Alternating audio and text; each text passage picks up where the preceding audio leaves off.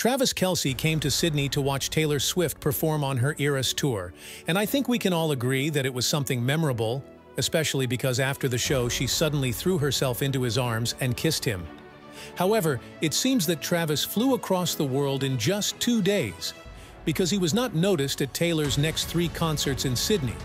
and instead he was seen at a party in Las Vegas on Saturday evening, February 24th.